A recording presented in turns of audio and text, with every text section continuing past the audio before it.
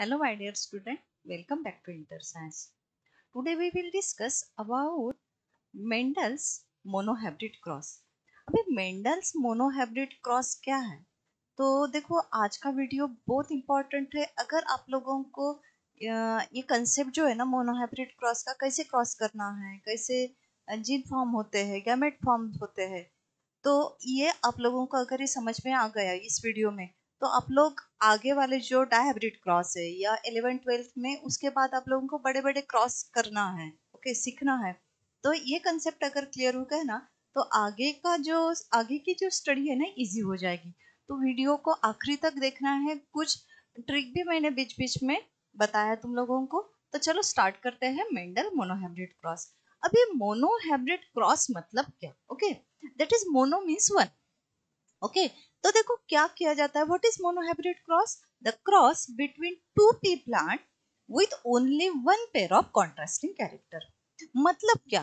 तो for example हमने यहाँ कैरेक्टर ले हाइट ऑफ़ प्लांट कौन से भी ले सकते हो? जो जो सेवन कैरेक्टर मेंडल ने लिए थे ओके प्लांट की हाइट ली थी pod shape pod colour seed colour seed shape ए, कौन से भी एक कैरेक्टर तुम लोग ले सकते हो मोनोहाइब्रिड क्रॉस के लिए?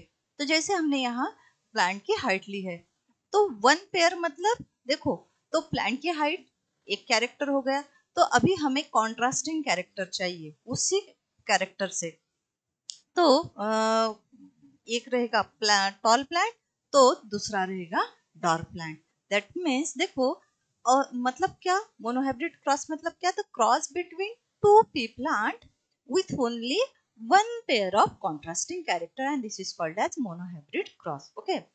तो देखो, अभी जो P1 generation F1 generation F2 generation ये मैंने तुम लोगों को पिछले वीडियो में बताया था, जिसकी लिंक मैंने नीचे दी है ओके तो देखो, हम अभी करते हैं क्रॉस और मोनोहाइब्रिड क्रॉस का फिनोटिपिक रेशियो क्या होता है जीनोटिपिक रेशियो क्या होता है? अभी उसको फिनोटिपिक जीनोटिपिक रेशियो बदलता है एज इट इज़ होता है, ये हम इसमें डिस्कस करने वाले हैं। तो चलो, हम लेते हैं पहला कैरेक्टर एक कैरेक्टर लेते हैं प्लांट हाइट ओके तो देखो प्लांट हाइट के लिए सबसे पहला वाला रहेगा पी जनरेशन तो अभी ये प्योर ब्रीड है। प्योर ब्रीड मतलब क्या? देखो, अभी एक प्लांट है टॉल तो दूसरा है डॉर मतलब कि प्योर टॉल है। मतलब इसके पास देखो, दोनों भी जो जिन है टॉल के है okay capital T capital T और ये जो दूसरा है प्योर ब्रिड मतलब इसके पास दोनों भी जो जीन है, ये कैसे है? रेसेसिव कैरेक्टर के हैं ओके अभी देखो यहाँ लिखा है, अब ये दोनों भी जो पेरेंट है ना, ये पी वन जनरेशन इसको बोलेंगे हम पी वन जनरेशन अभी फिनोटाइप फिनोटाइप मतलब क्या? जो दिखते हैं ओके तो एक प्लांट कैसा है? टॉल है तो दूसरा कैसा है? डॉर्फ है। और जीनोटाइप मतलब क्या? जिसके जीन है। ओके? जैसे फिनोटाइप मतलब टॉल जो प्लांट है उसके जीनोटाइप क्या है? Capital T capital T. अभी हमने कैपिटल टी कैपिटल टी क्यों लिया? Because tall is dominant. और डोमिनेंट जो होता है ना उसके जिन हमेशा कैपिटल लेटर से लिखे जाते हैं। ओके? okay, जो हमने डिस्कस किया था लास्ट वीडियो में। और डाब जो है ये रेसेसिव है। और इसीलिए स्मॉल टी स्मॉल टी में इसको लिखा जाता है। देन अभी पी वन जनरेशन से कौन सी जनरेशन फॉर्म होगी? एफ़ वन जनरेशन बराबर है? तो एफ़ वन जनरेशन फॉर्म होने के पहले प्रोसेस होती है गैमेट फॉर्मेशन अभी व्हाट इज़ गैमेट फॉर्मेशन अभी during gamete formation this gene okay this get separated मतलब this capital T capital T get separated as well, as this small t small t get separated and to forms, this gamete देखो अभी gamete form हो गए। अभी P1 से बनेगा F1 generation तो F1 generation जब बनता है ना तो this gamete get united suppose हम इसको बोलेंगे मेल प्लांट तो इसको फीमेल प्लांट ओके बोल सकते हैं, लेकिन तो this male gamete fuses with female gamete okay तो अगर देखो यहाँ क्या हो गया कि this capital T meet with small T तो क्या बन जाएगा? कैपिटल टी स्मॉल टी बन जाएगा ओके okay? और this this process this is called as union जो होता है ना गैमेट का, उसको बोलते हैं फर्टिलाइजेशन और after fertilization यपन generation that is first filial generation क्या होगा? फॉर्म होगा. तो देखो, ऐसा अगर हमने किया तो फोर प्लांट फॉर्म हो गए, लेकिन ये सभी कैसे रहेंगे कैपिटल टी स्मॉल टी वाले। देखो, अगर हमने ऐसा किया तो ये भी कैपिटल टी स्मॉल टी इसको हमने इसके साथ लिया तो कैपिटल टी स्मॉल टी इसको इसके साथ लिया तो कैपिटल टी स्मॉल टी और इसको अगर इसके साथ लिया तो कैपिटल टी स्मॉल टी सभी देखो, ये हो गए यफन जनरेशन अभी इसका भी फिनोटाइप और जीनोटाइप लिखेंगे हम। तो ये दिखने में सभी कैसे रहेंगे? फिनोटाइप मतलब दिखने वाले कैरेक्टर ये सभी टॉल रहेंगे। अभी टॉल क्यों रहेंगे क्योंकि इसके पास डोमिनेंट कैरेक्टर है कैपिटल टी है, इसलिए सभी टॉल दिखेंगे। और जीनोटाइप कैसे रहेंगे कैपिटल टी स्मॉल टी लेकिन देखो, यहाँ का टॉल प्लांट और यहाँ का टॉल प्लांट फिनोटिपिकली कैसे है सिमिलर है? लेकिन जीनोटिपिकली देखो टॉल कैसे है डिफरेंट है। मतलब इसके पास P1 जनरेशन का जो टॉल प्लांट था, इसका जीनोटाइप कैसे है? कैपिटल टी कैपिटल टी लेकिन एफ़ वन जनरेशन का टॉल प्लांट का जीनोटाइप कैसे है? कैपिटल टी स्मॉल टी क्यों? इसके पास दूसरा जो पेरेंट है, जो रेसेसिव कैरेक्टर है, इसके पास आ गया मतलब ये हाइब्रिड हो गया अभी। देन अभी हम क्या करते हैं, जो F1 जनरेशन में फॉर्म हो गए थे, जो ऑस्प्रिंग बोलेंगे हम तो उसमें से अभी दो पेरेंट लेंगे हम और उसका क्रॉस करेंगे, तब ये बन जाएँगे पी टू जनरेशन ओके अभी पी टू जनरेशन से मतलब F1 से F2 बनता है ना अभी जब F1 पेरेंट बन जाएगा तो उसको P2 जनरेशन बोला जाता है। तो देखो, अभी इसको हम क्रॉस करेंगे मतलब हमने, देखो ये प्लांट ले दो। कौन से भी दो ले सकते हो, क्योंकि सभी का जीनोटाइप कैसे है सिमिलर है that is capital T small T अभी और एक, अभी प्रोसेस मालूम है तुम लोगों को, कौन सी प्रोसेस फॉर्म होगी अभी? गैमेट फॉर्मेशन की। That is during gamete formation this gene get separated okay देखो गैमेट फॉर्मेशन में जीन सेपरेट हो गए। अभी ये क्या करेंगे? क्रॉस करेंगे एक दूसरे के साथ। मतलब capital T capital T then this capital T and this T मतलब ये इसके साथ, ये इसके साथ मत करना। एक के दूसरे के साथ करना ओके तो देखो, इससे अभी यप टू जनरेशन फॉर्म हो गया। अभी इसका फिनोटाइप और जीनोटाइप देखते हैं हम। तो देखो फिनोटिपिकली तीन टॉल है। तो एक कैसा है? डॉर्फ है लेकिन जीनोटिपिकली एक देखो प्योर मतलब डोमिनेंट आ गया। Pure dominant okay capital T capital T ये हाइब्रिड है और ये प्योर रिसेसिव आ गया। अभी इसके ऊपर से हम ऑब्जर्वेशन में देखते हैं। इन एफ़ जनरेशन ये जो हमारी एफ़ जनरेशन है, जो पी जनरेशन से फॉर्म हुई थी only tall plant was appear मतलब इसमें देखो, सभी चार जो प्लांट फॉर्म हुए थे ना, ये कैसे थे? टॉल थे। लेकिन यप टू जनरेशन में देखो, ये जो यप टू जनरेशन है तो tallness and dwarfness trait can be reappear मतलब देखो, इसमें टॉल भी है और डार्क भी कैरेक्टर इसमें आए हैं। और इसके ऊपर से हम फिनोटिपिक और जीनोटिपिक रेशो निकालते हैं। हमेशा ख्याल में रखना कि फिनोटिपिक या जीनोटिपिक रेशो निकालने के लिए हमें यप टू जनरेशन तक जाना ही पड़ता है, क्योंकि उसके ऊपर से हम क्या निकालते हैं? रेशो निकालते हैं।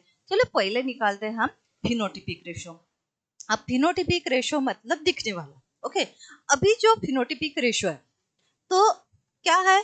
तो देखो टॉल कितने हैं और डार्क कितने हैं, ये तुम लोगों को लिखना है। तो देखो, यहाँ, ये देखना है अभी जीनोटाइप नहीं लिख, दिखना है। टॉल कितने हैं? थ्री डार्क कितना है? वन मतलब हम फिनोटिपिक रेशो क्या लिखेंगे? थ्री इज़ टू वन अभी लिखेंगे हम जीनोटिपिक रेशो तो जीनोटिपिक रेशो लिखने के लिए जिन लिखना है तुम लोगों को। मतलब capital T capital T capital T small T और स्मॉल टी स्मॉल टी चलो, अभी ये कितने हैं देखो, ये वाला एक है, ये दो है और ये एक है। मतलब जीनोटिपिक रेशो क्या रहेगा? One is to two two is to one मतलब हमने कौन सा भी कैरेक्टर लिया प्लांट का okay out of this seven character तो फिनोटिपिक रेशियो और जीनोटिपिक रेशियो कभी भी बदलता नहीं। मतलब फिनोटिपिक रेशियो हमेशा थ्री टू वन ही रहेगा और जीनोटिपिक रेशियो हमेशा one is to two is to one ही रहेगा। ये ख्याल में रखना ओके तो ओके अभी चलो एक और एग्ज़ाम्पल ले लेते हैं। सपोज़ हम लेते हैं अभी फ्लावर कलर तो फ्लावर कलर देखो, एक डोमिनेंट है, दूसरा रिसेसिव है। तो फ्लावर कलर में एक जो पर्पल कलर है, वो कैसा है? डोमिनेंट अभी आप लोग बोलोगे पर्पल कलर के लिए टीचर आप लोगों ने, आपने पी क्यों नहीं लिया? मतलब कैपिटल पी क्यों नहीं लिया? तो कलर के लिए सी लिया। जो हमने पर्पल कलर के लिए कैपिटल सी कैपिटल सी लिया। दूसरा जो फ्लावर कलर है, जो रेसेसिव है, कौन सा है? व्हाइट है। तो उसका करस्पॉन्डिंग लेटर हमें स्मॉल लेना पड़ता है, जैसे हमने यहाँ स्मॉल सी स्मॉल सी लिया है। अभी गैमेट फॉर्मेशन होगा। तो दिस जीन गेट सेपरेटेड तो अब ये जीन सेपरेट हो गए। इसके भी ऐसे होंगे। अभी हम करेंगे इसको क्रॉस अभी देखो आप लोगों ने ये रिवाइज कर रही मैं, दूसरा कैरेक्टर लेके। आप लोग दिस अलग अलग जो कैरेक्टर दिए ना सेवन कैरेक्टर उसको लेके आप क्रॉस करके देखना ओके तो अभी हम इसको इसके साथ क्रॉस करेंगे मतलब capital C small C okay तो पर्पल फ्लावर फॉर्म हो गया। अभी इसको इसके साथ करो कैपिटल सी स्मॉल सी अभी इसको इसके साथ, देखो this one is capital C small C अभी इसको इसके साथ that is capital C small C and this one is F one generation मतलब ये जो थे पहले, ये पी वन जनरेशन थे, और ये जो हो गए, ये हो गए एफ़ वन जनरेशन अभी इससे ही एफ़ टू जनरेशन फॉर्म करना है हमें। मतलब हम क्या करेंगे, इसमें से कौन से भी दो पेरेंट्स लेंगे। ओके चलो हमने एक ले लिया, जो कैपिटल सी स्मॉल सी रहेगा, और उसके गैमेट कैसे रहेंगे? सेपरेट हो जाएँगे। This gene get separate during gamete formation तो देखो, ये गैमेट फॉर्म हो गए। अभी ये पेरेंट ले लेते हम, ये अप टू जनरेशन करने के लिए। तो इसके गैमेट रहेंगे कैपिटल सी स्मॉल सी अभी हमें क्या करना है? इसका क्रॉस करना है।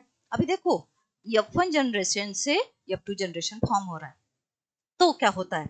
अभी क्रॉस करो कैपिटल सी कैपिटल सी तो ये देखो एफ़ टू जनरेशन में पहला कैपिटल सी कैपिटल सी अभी इसको इसके साथ क्रॉस करो कैपिटल सी स्मॉल सी अभी ये वाला लो, इसको इसके साथ that is capital C small C अभी हमेशा ख्याल में रखना कि कैपिटल लेटर पहले लिखना है, इसलिए हमने कैपिटल सी स्मॉल सी लिखा है, अभी इसका स्मॉल सी स्मॉल सी तो ये देखो ये व्हाइट फ्लावर हो गया मतलब जो रेसिसिव कैरेक्टर होता है ना which does not appear in upon generation but get reappear in F two generation देखो, यहाँ व्हाइट फ्लावर फॉर्म ही नहीं हुआ।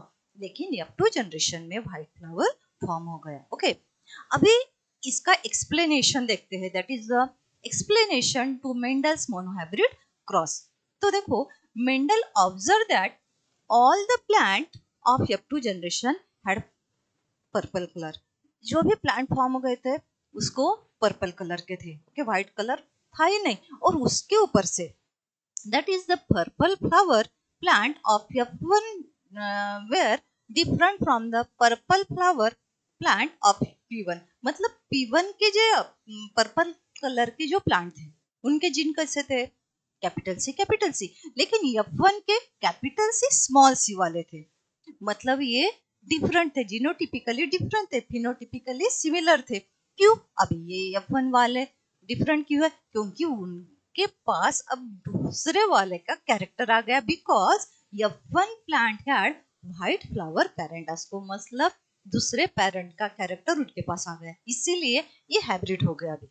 और उसी वजह से from one generation Mendel concluded that purple flower है डोमिनेंट कैरेक्टर उसके ऊपर से उसने कंक्लूजन निकाला कि जो पर्पल कलर है, ये क्या है? डोमिनेंट कैरेक्टर है which appear in one generation okay अभी जो plant of one generation were phenotypically purple phenotypically मतलब कैसे था वो? दिखने में पर्पल था बट जीनोटिपिकली हाइब्रिड क्योंकि उसके पास दूसरे का कैरेक्टर उसके पास आ गया रिसेसिव कभी कैरेक्टर दूसरे पेरेंट का भी कैरेक्टर उसके पास आ गया, इसलिए फिनोटिपिकली सिमिलर था वो, लेकिन जीनोटिपिकली डिफरेंट था. अब जीनोटाइप मतलब क्या? That is genetic character present in individual मतलब नो विजिबल फ्रॉम आउटसाइड मतलब वो दिखता नहीं है, उसके जीन होते हैं ओके तो शॉर्ट में हम फिनोटाइप किसको बोलेंगे? That is the appearance of detectable character हम जो हम दिख सकते देख सकते हैं डिटेक्ट कर सकते हैं। और जीनोटाइप मतलब क्या? That is the genetic composition उस कैरेक्टर के जीनेटिक कंपोजिशन उसके पास होते हैं। अभी इसके ऊपर हम कुछ इन्फ्रेंस निकालते हैं। क्या है? All of the offspring of the first cross that is the generation are these are heterozygous. अभी heterozygous मतलब क्या? That is having the two different alleles of particular gene. दे देखो, यहाँ कैपिटल टी स्मॉल टी है hetero means different okay उसी particular gene के दो डिफरेंट एलील्स होते हैं। उसको हेट्रोजाइगस बोला जाता है, जैसे टॉल प्लांट ओके सभी अपन जनरेशन में कैसे थे? टॉल प्लांट थे। अभी होमोजाइगस जीन मतलब क्या? होमो मीन्स सेम तो देखो कैपिटल टी कैपिटल टी या स्मॉल टी स्मॉल टी इसको हम होमोजाइगस जीन पेयर बोलेंगे और हेट्रोजाइगस किसको बोलेंगे? Hetero means different that is the capital T small t उसको बोलेंगे हम हेट्रोजाइगस जीन पेयर ओके तो when two heterozygous, that is F1 generation cross किया जाता है तो F2 जनरेशन में three kinds of springs are possible कौन से? तो होमोजाइगस मतलब pure flower purple flower form हो सकते हैं। दूसरे है heterozygous that is purple flower होते हैं लेकिन हेट्रोजाइगस है। देखो कैपिटल सी स्मॉल सी है, और उसके बाद होमोजाइगस मतलब व्हाइट फ्लावर फॉर्म हो सकते हैं that is small C small C okay तो ये ख्याल में रखना। अभी फिनोटिपिक रेशियो हमेशा मोनोहाइब्रिड क्रॉस का सेम होता है, कौन से भी अगर तुम लोग कैरेक्टर लो। फिनोटिपिक रेशियो क्या रहेगा? जो हम एप टू जनरेशन से निकलते हैं, वो है थ्री टू वन और जीनोटिपिक रेशियो भी हम एप टू जनरेशन से निकलते हैं वो होता है one is two two is two, one. ये हमेशा फिक्स होता है, ओके?